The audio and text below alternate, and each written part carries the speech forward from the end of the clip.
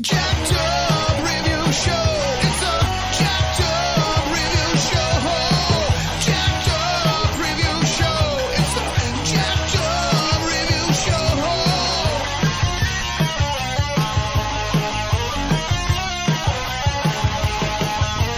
us as we cover many an insane movie and numerous cult TV phenomenons.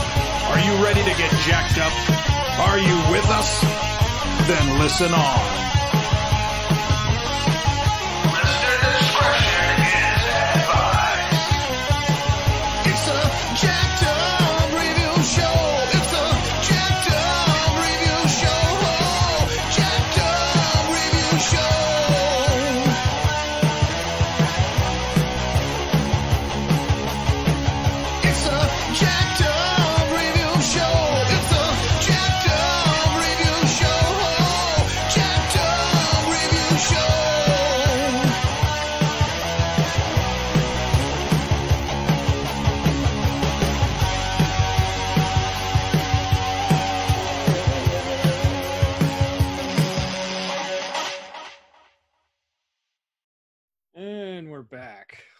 Welcoming to the show, good pal, actress, stunt woman, and just all American badass. Kerry McCormick is here. How are you, my friend? Hey, what's up? I'm good. Good, like that intro. Oh, yeah. Well, what other intro would I possibly want to do? The last thing I want to do is bore people and tell them, hey, and by the way, don't even bother listening to this episode. I was interviewing this one Scottish guy, and halfway through the interview, like he just flat out was like, "Oh, I'm in trouble with the Irish mob, so please don't use my name." I'm like, "Well, then what's the interviewing you if I can't even?" I mean, if I was a criminal, I, it wouldn't take much for me to do some digging and determine your voice and all that. But whatever. I'm just. We're not talking about that idiot. We're talking about extraordinary like yourself. So, um, so you've been part of just so many just different productions in Atlanta, Louisiana, and DFW. Uh, and you're still going strong uh, since just the 2000s and to present. Uh, what made you, you told me about many of your just inspirations, especially Bruce Lee and what have you. Uh, were there any other inspirations that made you say, I do actually want to play pretend and make that be a living on the side? well, actually, um, two people in my family, and one being my older brother, Jim. He um, was in theater in high school, and so I grew up watching him play, you know, various roles. Uh, one of which my favorite is Fagin from Oliver, which is like one of my all-time favorite uh, musicals. And my daughter, um, who was briefly in theater during her elementary school days. And she just, you know, looked like she was having so much fun. I was like, I really want to do that. But school I went to, their drama department came later. Um, and I was already pretty heavy into athletics by then. So um, just wasn't something, you know, I got around to doing till way later than most people. But um, yeah, it was always kind of just in the back of my mind, like, you know, one of these days maybe I'll I'll go check that out. And my mom actually sent me an article for uh, extras that they were casting call. hiring. Yeah, Nice. like you know, Cats casting over in Arlington at UTA. They were filming an independent film, so when Still student going, film. I think, right? I, I I don't know. I mean, that was that was back in like 2007, 2008, I want to say. Makes sense.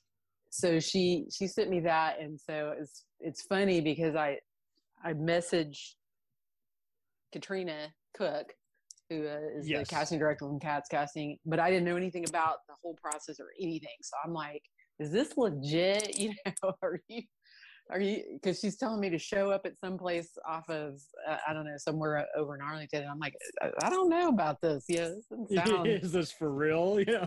so I, Yeah. I was all skeptical and everything but I, I told my mom where i was going and showed up and then i see you know all the the production people and everything swarming around so i was like okay i guess i guess this is what i'm looking for and uh so that night really was my first time, you know, being on a set and kind of experiencing that whole thing. And it was hot, you know, it was like in the middle of summer. Um, no air conditioning, of course. We're in a frat house filming these scenes, and uh, you know, just started talking to people that were on set in between shots and kind of getting the scoop on what and how and where you know do stuff in DFW and and just you know went from there. Just started kind of researching that signing up on different websites and whatnot and uh, just just started building it from there. And e- even back then I wasn't really serious about acting. It was just something I, I just wanted to do for fun um, at the time. Mhm. and and pretty much treated it as such for like the first two or three years. And then after i was doing it for a while i was like okay yeah this this is really fun. I want to do more of it. And um, so that's when i started you know looking into agencies and all that kind of stuff. So and you know training doing what you're supposed to do. Uh, that that's neat. And out of all the actors you worked with, who just left just the biggest impression with you to where you're like, man, if I got any resources, if I even write or produce something, I, I want you on this same project. We got to reunite. ah that's tough um You've done, you've worked with Vivica A. Fox, Dennis Quaid, and just plenty of other just beloved just character actors who just go in between here in, in Louisiana, Georgia, and Texas. You know who who jumps out at me for some reason, probably because he just put me through the ringer. And this wasn't this wasn't an acting thing. This was actually a training thing. Is Keith David? Yes, you, you were like at an acting class with him. Yeah, he's Seminar. he's you know for what he is, he's very approachable and down to earth, and and I'm so thankful for that, and so thankful to be uh, have been a part of that class. It was two and a half days, just intense training. I don't think I've ever done. I remember like you that. would bring him up so many times. You're just like Keith David, everybody, you got to meet Keith David, and I don't mean in a convention way. You were very specific. You're like Keith, just talk to Keith.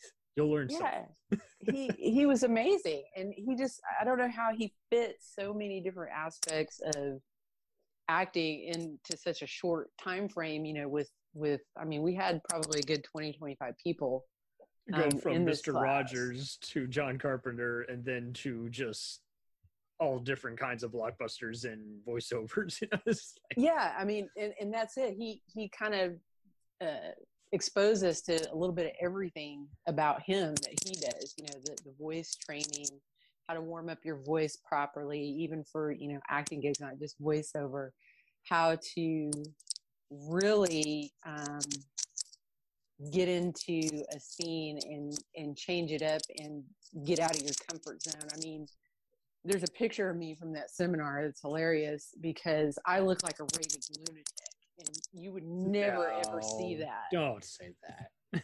As, aside from you know maybe some of the action stuff that i've done You're just this- ecstatic and happy. well yeah if, I, if i'm that happy then you're in trouble because i my eyeballs Carrie will kill out of my people.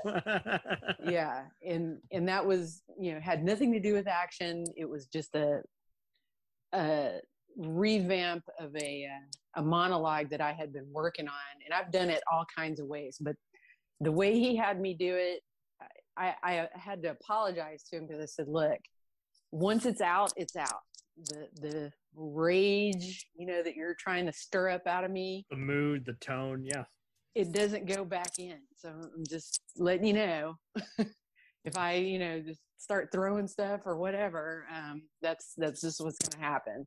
And and so that's that's what it is. So when you see that picture, I mean, the veins are popping out of my neck, my eyes are huge, and you can tell that I have just like reached some level of, of something. And I, I've never, I don't like to do that in real life because it's scary.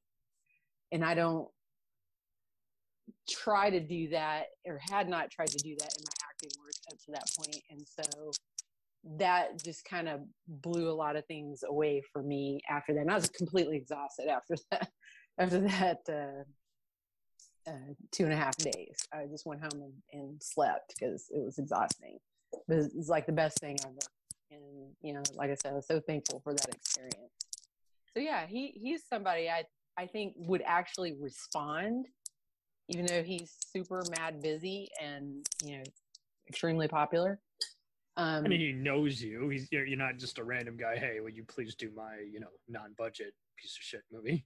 Yeah i mean he he is an artist and so he's he comes from a very non-judgmental place already and so he he would be open to any kind of you know independent project.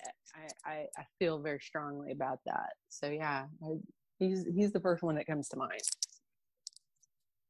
not By- to by say the means. other ones might not you know but Well, no, you, you didn't say that. You're just saying he left the strongest impression because you wanted to study him and his style and everything, as opposed to, I just had a really fun time talking to you, bro. You know, yeah yeah Uh, very cool. And uh, just in terms of acting styles, uh, what would you classify a lot of your training as?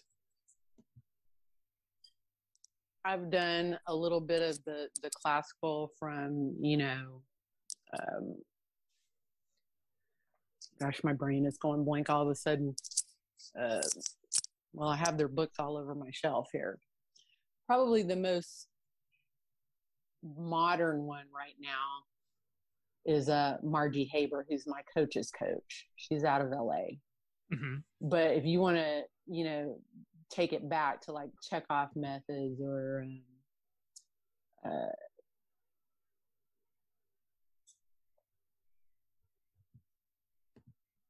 any of those classical trainings. I, i've had you know some introductory levels of that and that's that's something that i've been thinking about i'd like to go back to and be more immersed in. Hmm uh, a lot of a lot of people who have trained with those you know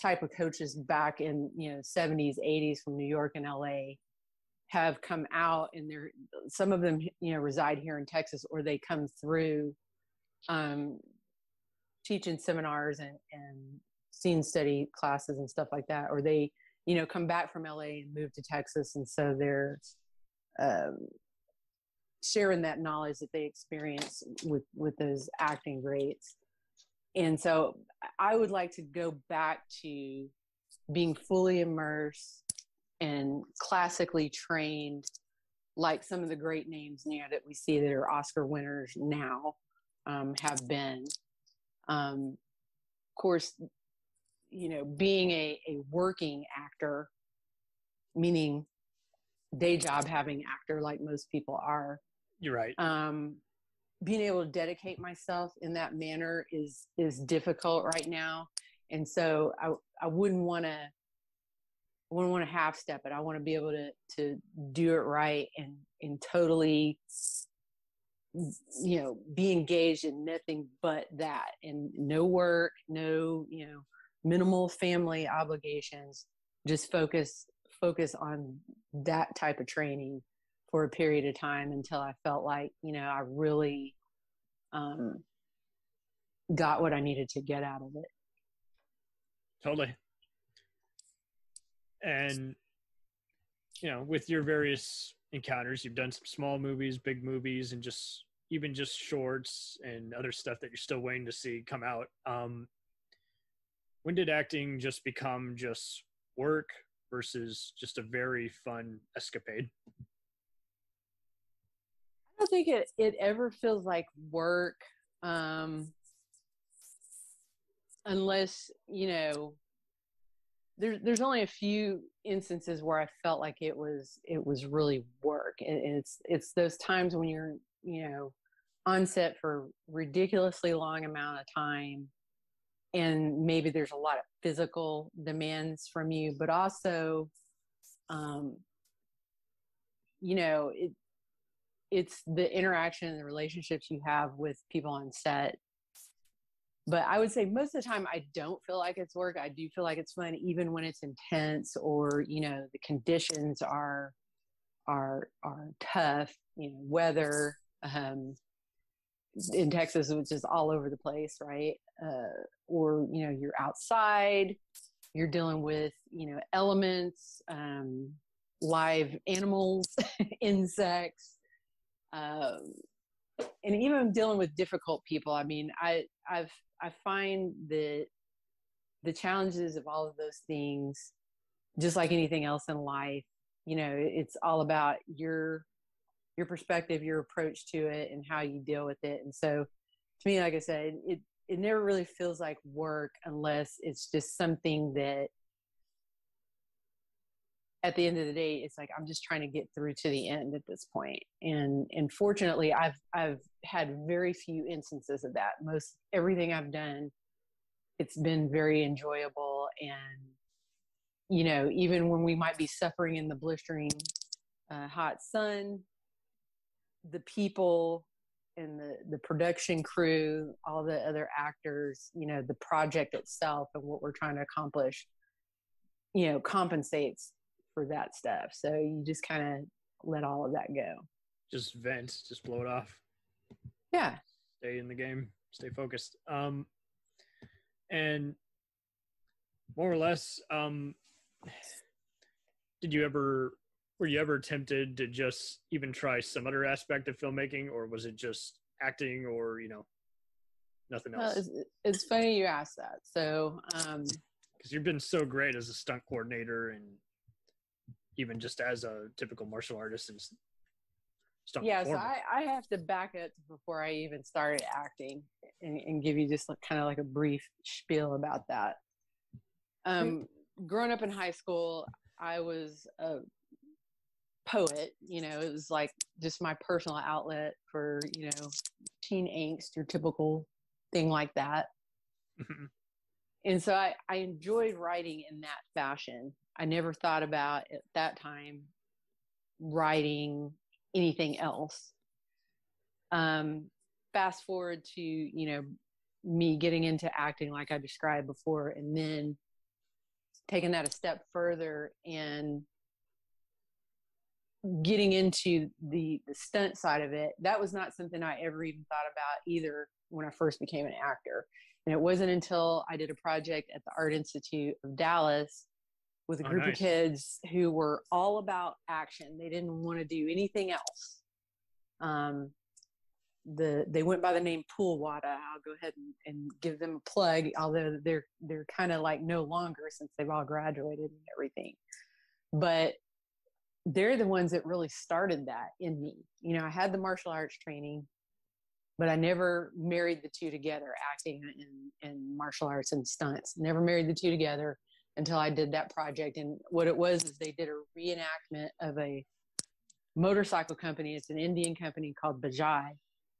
And they did a reenactment of the commercial where it's these two girls fighting over who gets to ride on the motorcycle.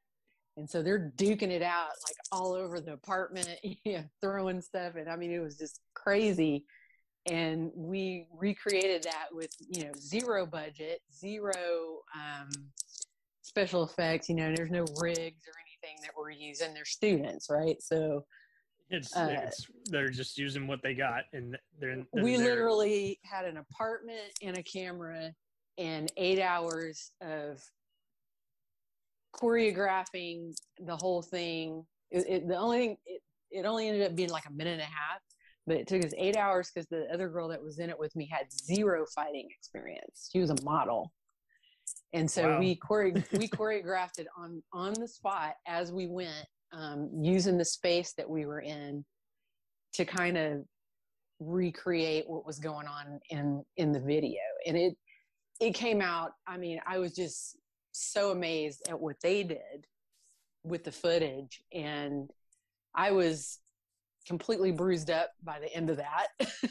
You know no padding no anything on concrete floors were and- the performers pretty athletic, but you still had to make sure you know that they weren't gonna, you know, accidentally hit each other and what have you. i would say i would say i took the brunt of all the beating oh Be- damn! because but i wanted it i wanted it because i was like this is the coolest thing ever and so as we're doing the fight scenes um the other girl, she's just I, I just told her, I said, hit me, kick me, whatever we're doing in the scene, just go for it. And and she did. And so, like I said, as a result, I mean, I'm throwing myself around, uh, trying to, you know, sell what we're doing too. And so by the end of it, I had a huge bruise all my the whole right side of my thigh was just one big purple bruise.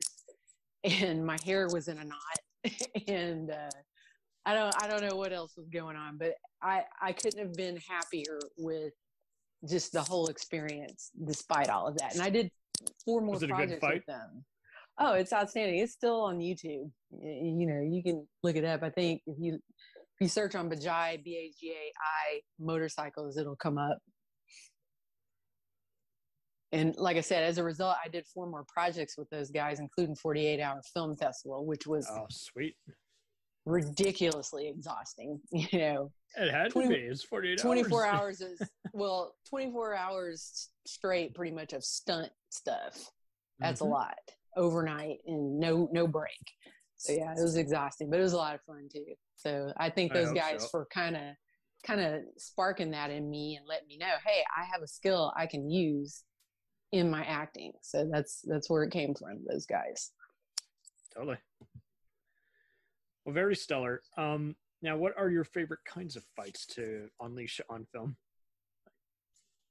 since I trained in Muay Thai as one of the uh, martial arts, I, I started doing martial arts right when MMA was becoming popular. And so, Mm, my teacher- off, all that. yeah, I mean, right when, you know, Royce Gracie was doing his thing and all that. So, uh, my teacher, my sensei at the time, kind of saw that and marketed his uh, studio after that. And so he had training in what what they call San Shou, but he also had training in Muay Thai, and you know, so he brought basically Muay Thai, kickboxing, boxing, and jujitsu to the studio, and then we also had um, guest uh, instructors come in and teach things like Aikido. We even had Krav Maga, um, Arnis, which is a, a weapons type of training, just different things like that. So we got got a whole bunch of stuff coming in, but typically on a, a weekly basis, we were training those four disciplines. And out of all of them, Muay Thai is definitely my favorite because it's it's not something you see all the time. Especially back then, it wasn't you know well known like mainstream until UFC kind of took off. But it is a badass martial art. I mean, it's just it's just brutal and stylistically, I, I think it looks really nice on camera. Um, so if I'm doing the if I'm the actual person doing the fighting, I like to incorporate aspects of Muay Thai into my fighting as much as I can. Um, Sweet. if I'm choreographing, what I found works well, at least in, in my limited, you know, um, exposure to to choreographing, is a lot of the people that are doing fight scenes have no fight training. They have no stunt training. hmm So what I try to find out is what is what is your training in movement? Period. You know, are you a dancer? Did Are you play basketball? sensitive? Can you lift stuff with your hands? Yeah. yeah do you have any kind you know were you a gymnast any kind of movement training that they've had at all and usually they they've had something so like uh, for example one of the fights i choreographed was for uh, dennis o'neill's project bailout Yep. Web series. and he had these three girls that were like the the detectives lead characters and one of the girls is a professional ballerina oh wow. so you okay. know, no no fight training, no stunt training, but she's a professional ballerina. I said, okay, we're going to use that because I think that would be really cool and unique. Mhm. So in one of the fights, I actually have her. She can do like the the high split leg kick. so I have her do that like ballet, but in a mean way. and it, it just looks so cool on camera because you weren't expecting that at all. You know, to to to come from her. I mean, she's a very pretty girl anyway, but she's not dainty. She wasn't a dainty girl. She she was like an athletic ballerina. So she she pulled that off by doing that, you know, high kick, high split kick like a ballerina would do on stage, but you know, kicking somebody's head off. It just it just looks so so awesome.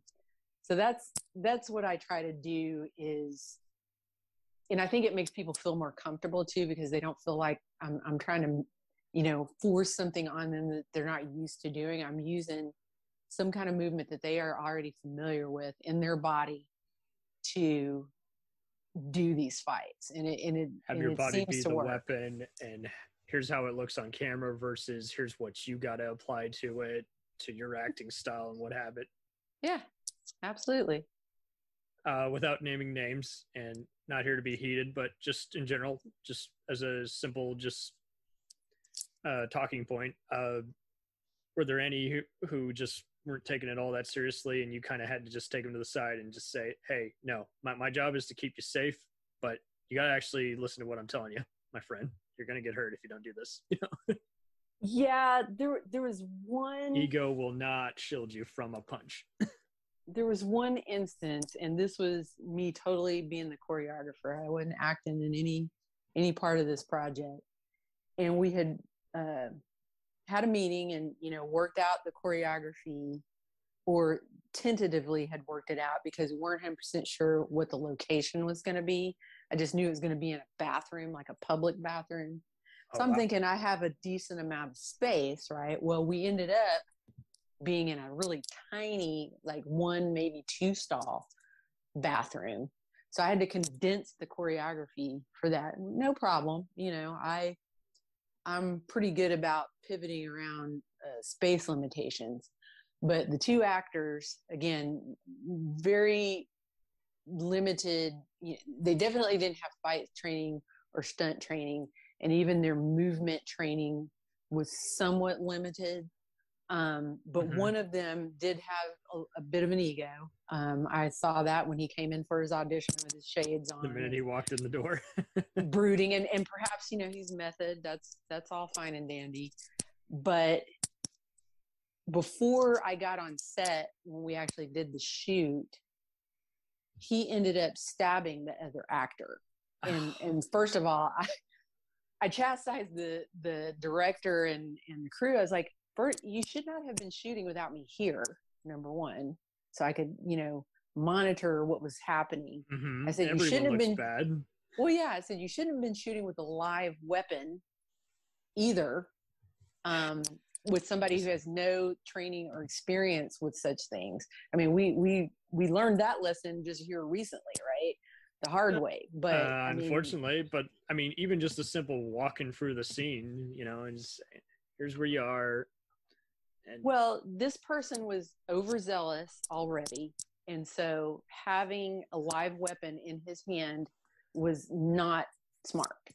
And so that, that all that took place before I even got on set. And so after I, you know, chewed them out for all of that, then we we managed to get, you know, the scene done properly and safely. So that was really the only time where somebody was just kind of and it, and I don't even feel like it was necessarily ego. I think he was just so gung ho about doing it that he he just let all the the the safety part of it kind of go over his head.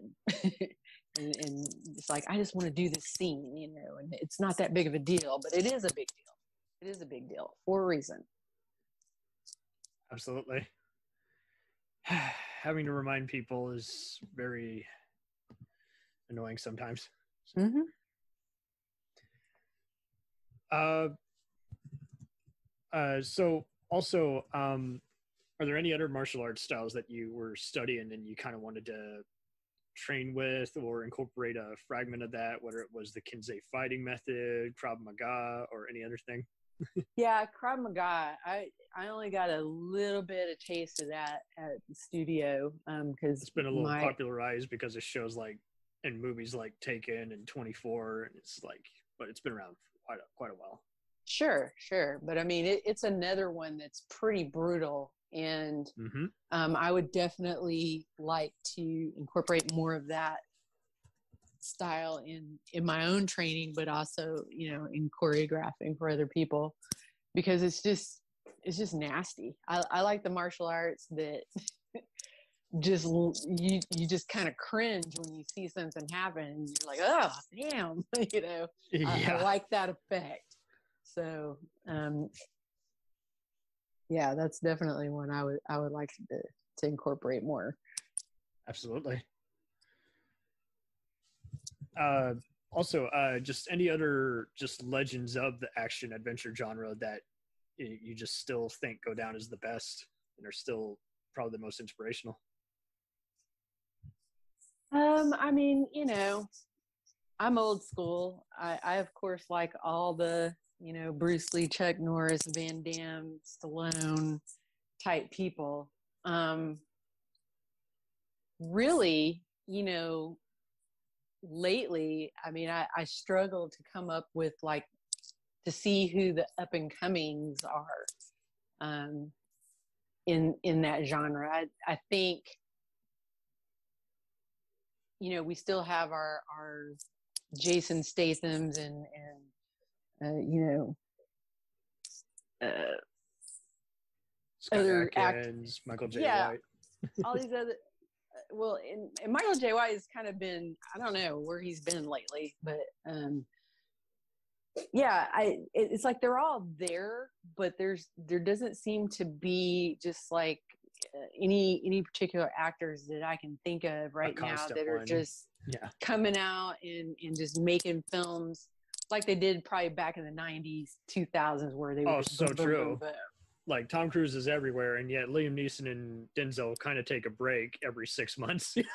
You know? well those guys are they're getting up there in age so i imagine you know they're not really wanting to take on that kind of stuff much anymore Mhm. now the ladies you know Who had badass kinda- films? Yeah, yeah they had kind of started picking up more uh, of you know women getting into the action stuff like you know Charlize Finally. Theron and and Mad Max and stuff like that.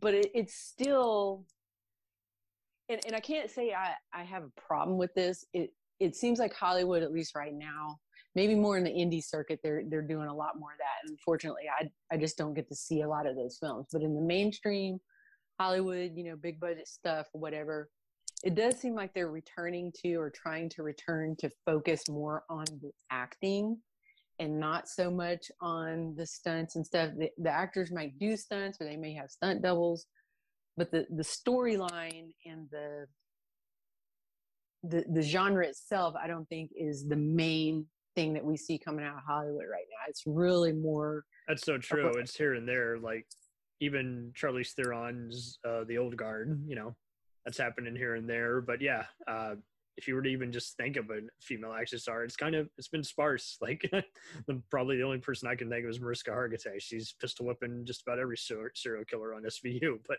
everybody Well, else, yeah. yeah, is not really a Cynthia Rothrock or Michelle Yeoh type. But it is cool to see Michelle Yeoh's coming back slightly here and there.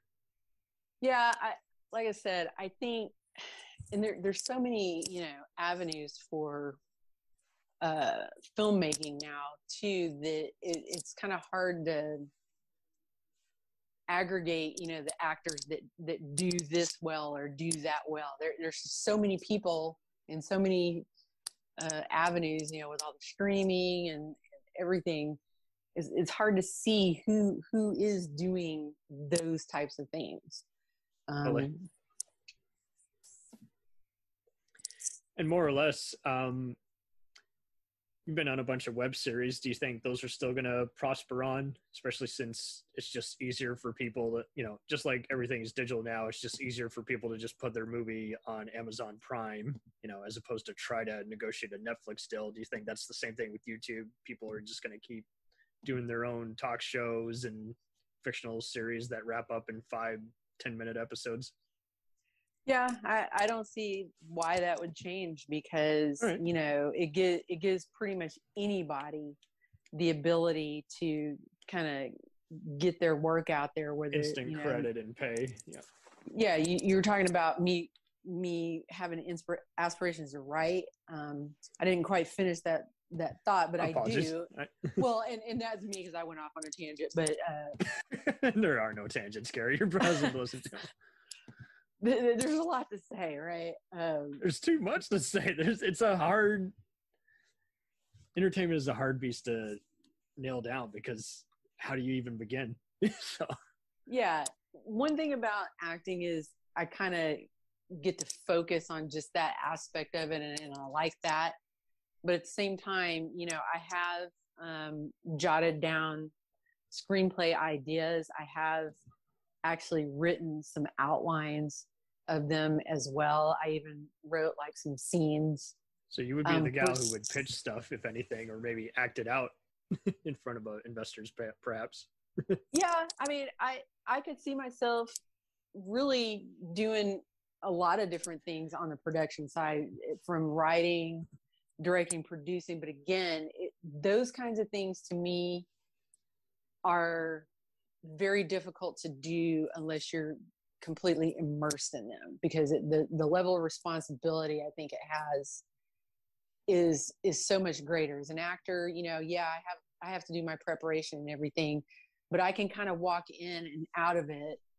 Whereas, you know, if I'm directing, it, it's it's a little bit more commitment than that. So um, I've got to be in a place where I can I can do that. And again, I'm I'm not gonna I'm not gonna half step it. I'm not gonna you know pretend to do that. I, I've got to be able to fully commit to it before I'm I'm gonna step into that that world. So, I mean, it, it's definitely in my mind. And I, I feel like at some point I will get to that point. I mean, I already know what my first story is going to be about, and it, it's going to be about my life growing up because I think there's some, even even in the world of you know shows like Blackish and Mixedish and and things that try to highlight Oh, a lot you of should have totally things. guest starred on there. You would have totally been eligible and been great on that. I just I, I think I have a I, I, an interesting and representative experience in real life that I would like to share and kind of poke fun at to some degree, but also you know make people aware because I even today there's still a lot of people that just aren't aware of the kind of things that somebody like me might have to deal with and so it's just it's just kind of bringing those things to light and like i said poking a little fun at it but also you know there's a message there like hey you know this is something you might want to consider when you're talking to people uh, from from these groups maybe Totally. I had a cousin, and I think it was as far back as like 02, 03, and she had a black boyfriend, and she was giving it an ugly eye just walking into a restaurant bar one day. And it was just like, eh, you were still just seeing some just, and I mean, post BLM, sorry to be a little political, but it's like we're still seeing a bunch of these attitudes that don't seem to be evaporating. Like, no one seems to want to open up a conversation. No one seems to want to tell everyone, hey, by the way, you guys are being dicks. You you can't keep thinking just hateful thoughts and just act like it's all good. Absolutely. And so, you know, if, if art is supposed to limitate, uh, imitate life and vice versa, then that, that's where I'm coming from. If I'm going to write something, not to say I haven't had some pretty, I'm, you know, I like science fiction and, and supernatural stuff too a lot. So a lot of my inspiration comes from that. But I would say, like I said, if, if I'm going to start with a project that I'm writing, more than likely it's going to come from my real life, you know, background experience.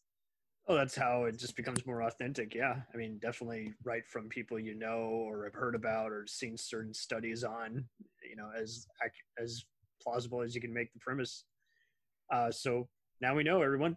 Kerry needs to hunt down Kenya Barris's agency and ask him for a moment of his time. For real. That I, I'm sure he would actually listen. He's done so many other independent projects for Netflix. So I mean, why not? Uh, furthermore, what are you watching right now that you find just very inspirational and you recommend other people check out? You would ask me that, and again, it, it's it's one of those Damn. things, and you hear acting actor people, you know, say stuff like this all the time. It's like I don't have time to watch TV, um, and I, unfortunately, I really don't because I'm just doing stuff all day long up until I close my eyes and It's because they all suck and they don't star you. No, I'm just kidding. But I know it, it really isn't. It really isn't. When I I when I, know. latch onto a show, you know, I will definitely watch it and and keep watching it. Now, uh, I, I take that back. I am watching Dexter New Blood right now. Been a big Oh. fan of Dexter, so I did. Um, Carrie I likes did start watching.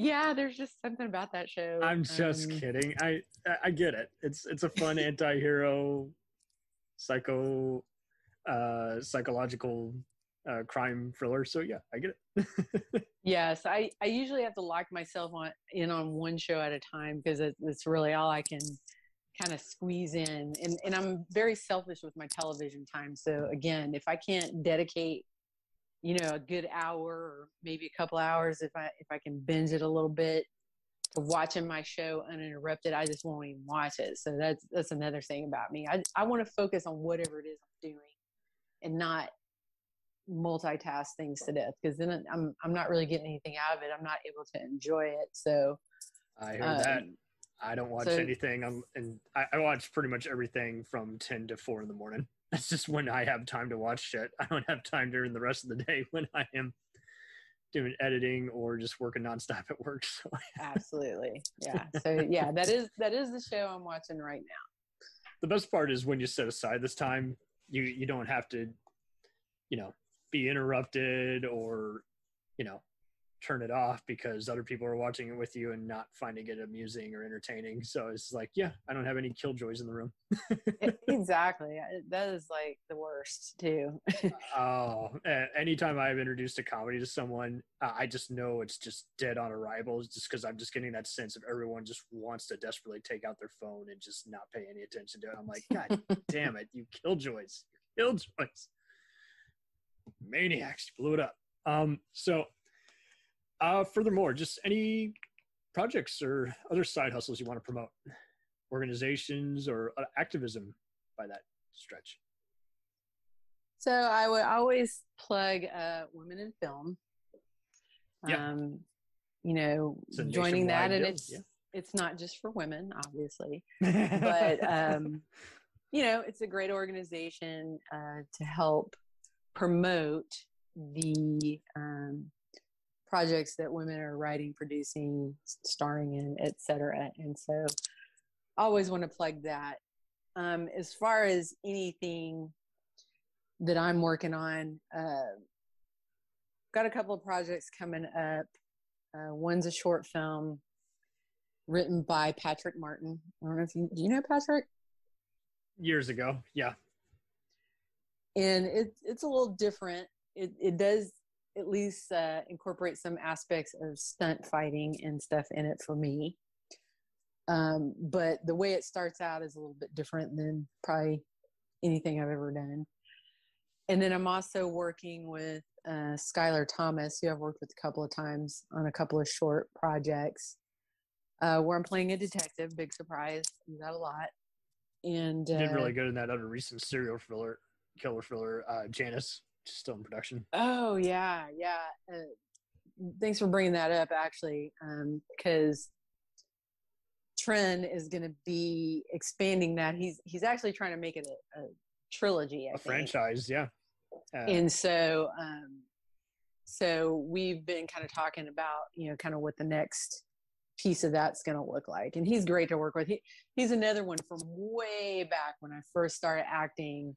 Uh, he was at UTA, and I did a project for him, and it was hilarious because uh, they were pretending they were kidnapping me, and uh, you know, it, it was kind of a, a learning experience for all of us, right? I had never been in, in anything. your hair was way longer then. It was awesome. I remember you showed it to me when I was working on Yeah. the set, and I was like, and you you star in like the biggest like uh mind blowing sequence in the whole thing. So it's like that's awesome. You get to be in a scene which everyone actually remembers in that short.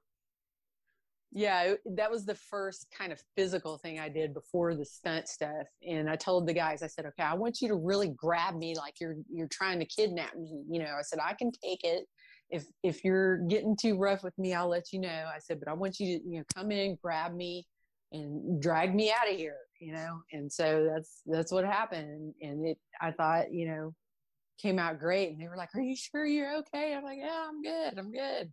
You know, grew up with three brothers. I'm I'm used to yeah, a little bit of uh, scuffle, so it's all it's all good. And I think that actually um, really gets me, you know, into a role. Not saying that I have to always be fighting somebody. I don't, but um, that that is definitely something that when I see it in a role, uh, just motivates me that much more.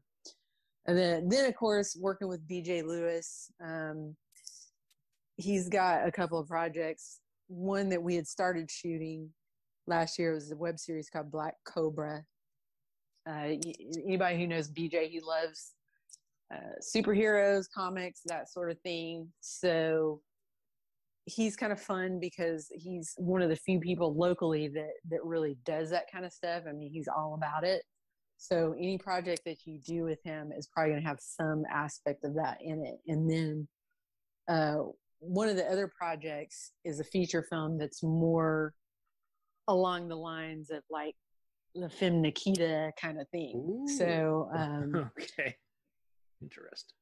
I don't know, you know, when we're going to start doing anything with that, but that that's a little bit of a stretch for me as a as a you know action actor um, because it's got got some other aspects of the character that you know I haven't uh, done before, like speaking another language that I'm not familiar with, things like that. So that should be pretty interesting.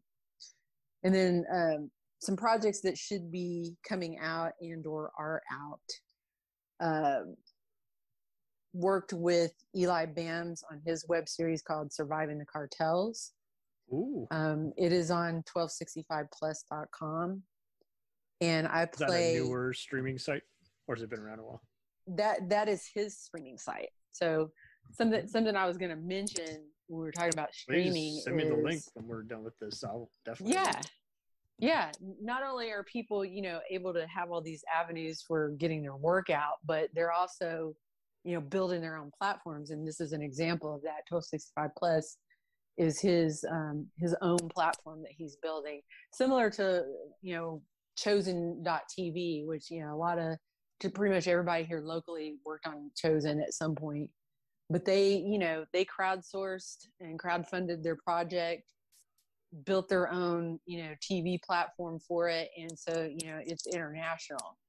And i i think that is definitely probably going to become more and more because then then you kind of own the whole project from end to end even the distribution of it. You own all of it. So i think that's amazing um, that you know we have people here locally doing that already. Um, and uh, in that i play a um, woman named heaven olson who has lost her only child to drugs and my kind of deadbeat ex-husband detective played by dennis o'neill surprisingly enough which i i really enjoyed. Dennis and i go way back as well.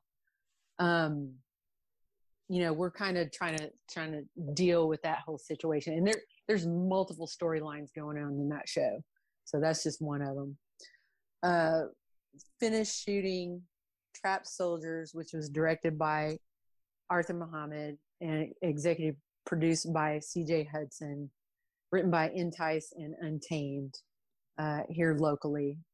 Again playing police captain rachel turner um really great cast, strong female characters in that one, uh, and a lot of twists and turns. You really got to be paying attention to who's who and what's what in that in that film because uh, a lot of little unexpected things going on in that one. That should be out sometime later this year. Uh, did a project called um, Autumn Road at the end of last year directed and written and starring Riley Cusick. And that's a psychological thriller. It's very, uh, gosh, I, I don't know what I would compare it to other than, you know, it's got a little bit of the Dexter in it. Um, but, you know, just a very, not a horror film, just a dark psychological film. And in in that one, I play a lady who owns a diner named Lou. I'm kind of like motherly but take no shit kind of a character. Mhm. And I got to shoot a shotgun in in that film, which was awesome. Not the first time I've handled guns in a film, but the first time I've actually shot one. So um, look for that. That's on Apple TV right now. And then what- what- what's it called? Autumn Road. Autumn Road. Autumn Road. Okay. hmm Is that on your IMDb? I didn't see. Uh, it should be. Yeah, it should be on there. Okay. And then the last one is Peter the series. And this has actually uh, been out for a while. Season one, I think, came out, want to say maybe three, three years ago, maybe four. Um, and pandemic kind of, you know, put a halt on them uh, finishing seasons two and three, but I think they are finished. And I believe season two is either out or it's on its way uh, to YouTube. So you can look for that, Peter, the series. Um, I am in second season. Totally didn't get my uh, character name from that, but I play a a mom who's again taking no shit. Perfect. Very, very cool. And just any other just final closing thoughts for those just trying to attempt acting even during this difficult time? Oh yeah, uh, it is definitely not slowed down. Um, surprisingly, the pandemic maybe put a put a halt to stuff. You know, when it was first kind of rolling out, but right now it is definitely happening. And if you're wanting to get into acting, I would say train, find a good, you know, uh, coach that that you get along with who is legit and there's plenty of them here locally or you can find them kind of like i said rolling through town when they're uh, doing their seminars and stuff like that. But definitely get into some training start you know uh, looking on the free sites. You don't have to pay for anything not one thing to find acting jobs in in this town or any town. And you know network which is a little bit more challenging now because a lot of the networking avenues that we had have gone silent uh, during the pandemic unfortunately. But you know if you can get out to film festivals or you know like i said women in film they, they still you know have a lot of their activities going on. Anything like that where you can get to know other actors and the people in the business do that. Um, austin is still big on doing a lot of networking events. Um, so you know train get out there and and submit yourself for you know student films get that experience on set you know network with the people there and learn all the aspects of production that you can not just acting learn you know learn a little bit about everything lighting you know sound all of it um, and just have fun be careful We'll return after these messages. Hey, feeling down? Feeling low? Not enough podcasts about movies in your life? Why not try They must be destroyed on sight. the new Podcast Cure All? Sure to get you right with the world and on a path to better living. We have exploitation, we have Italian horror, we have zombies, we have slashers, we have crime films, we have spaghetti westerns, we even have sci fi and sex comedies. So take a dose of They must be destroyed on sight. as needed and let the hosts, Lee Russell, Daniel Harper, Paul Romali, and the odd guest host cure what ails you. Warning, may cause atrophy, African consumption, black fever, bone shave, chin cough, colic, cramp colic, dropsy of the brain, elephantitis, grocer's itch, jaundice, mania, miasma, mortification, palsy, Pott's disease, rheumatism, scurvy, St. Anthony's fire, summer complaint, and worm fit in some people. Consult a physician before listening.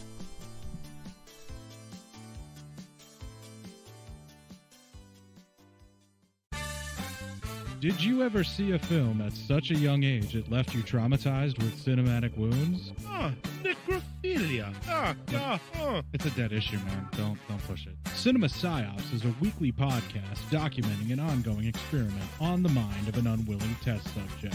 No one should have to watch this movie. Oh, no one should have to watch this. No one should have to watch this movie. Surprisingly, it's not a topic that a lot of people really want to tackle. I'm shocked, Prudes. I know, really. Right? It's the next sexual frontier that no one wants to explore. I am, in the most sincerest of senses, disappointed in you. It takes a powerful goddess like Connie, jam her arm down the monster's throat and kill it. Oh, I'm still tripping out over that. Even as a kid, I was like, I gotta find a girl like that. Every week, I, I get a new look of disappointment that I never thought I could get out of her. Unimaginable. At 12 years old, you should not be watching this movie. Obviously. At 13, you should not be. 14, you shouldn't be. I'm not entirely sure even 17 year olds should be watching this. Just because you're offended by something doesn't mean that you have the right to demand that it doesn't exist. Watching this film again, I had all of this like little nerd glee with everything that kept Little popping up. history all Yeah, popping up at you. So I totally loved this film. Hey, I know why you you know couldn't see that. It's because your brain's warped watching this shit at 12 years old. Yeah, this is this is a rough movie. I told you ahead of time when we were getting ready to do it that it was. Gonna How be a could you watch one. this shit at 12? Because physical wounds heal, cinematic ones don't. Listen to Cinema Psyops. Hey, everybody, I'm Corey. And I'm Zach, and we're the hosts of Podcasting After Dark, a cast dedicated to late night horror and sci fi of the 80s and 90s, often found on HBO and Cinemax. You know, the movies your parents didn't want you watching as a kid. You can find us every other week on Apple Podcasts, Spotify, Podbean, and Stitcher. This is what you want. This is what you get. It's time, let's check our cue, baby. Pair it with a couple brews, baby. We love good movies.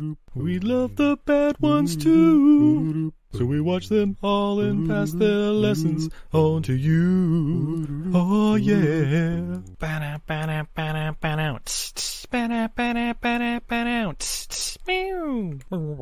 Everything I learned from movies helps to make life a little bit groovy. With a one last plot holes and gratuitous movies. It's time to get busy with your friend Steve and At eilfm.podbean.com.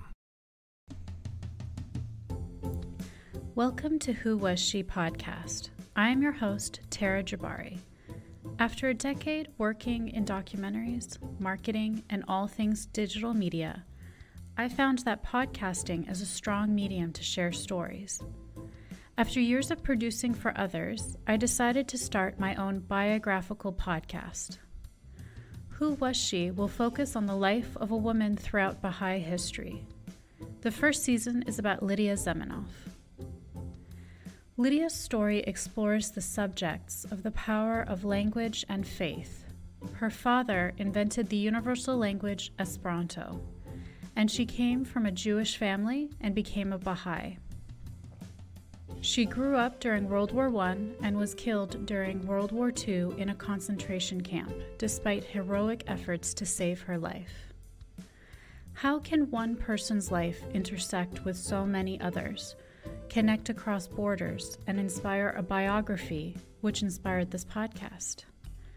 Over the next few weeks, I will share her story with you and the lives that were most affected by her and those who affected her life as well.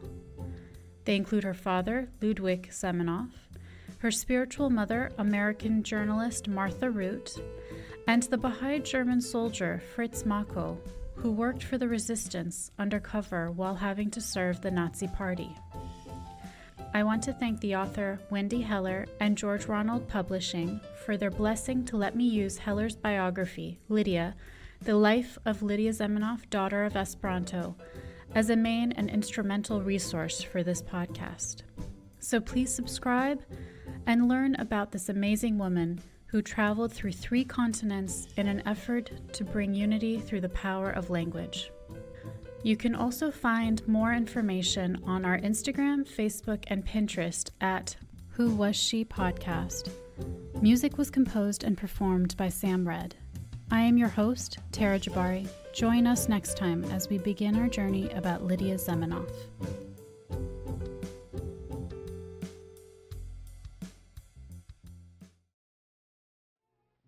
Are you sick of the same old stale podcasts?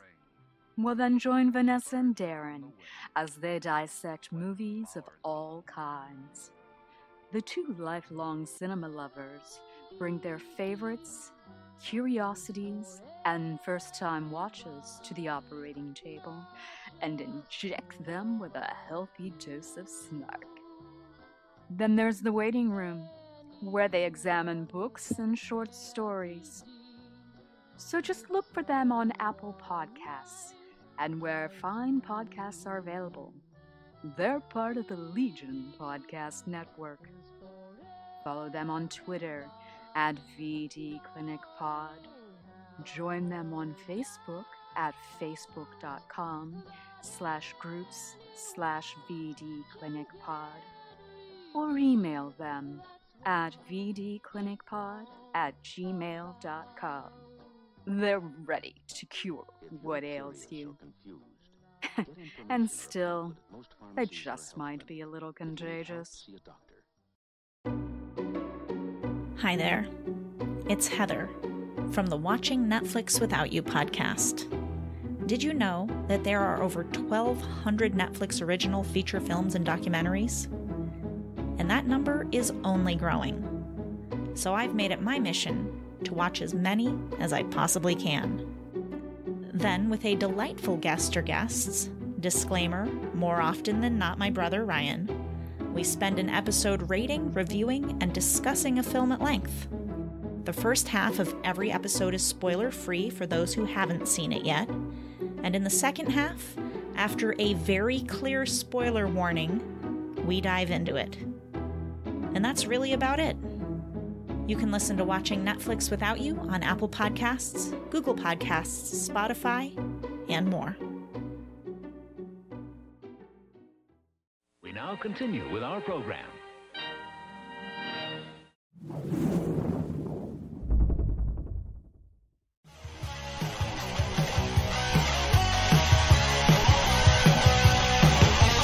Us on the web on Facebook, Twitter, and Instagram. The podcast is available on Podbean, Spotify, iHeartRadio, Anchor, Apple, and anywhere else podcasts are available. Feel free to review our show and leave comments on any of those sites. Thanks a million for listening.